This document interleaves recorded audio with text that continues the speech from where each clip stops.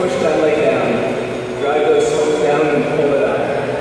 And then we're going to slide our hands down to the horizontal bars in the middle. So get those legs moving and left hand goes up, right hand goes down. And now we're going the other direction.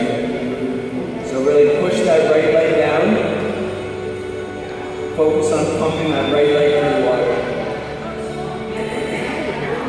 Leaning over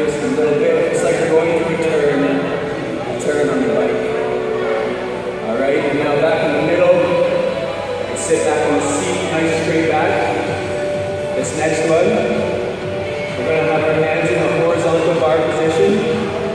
So that's just the bar right across the horizontal area.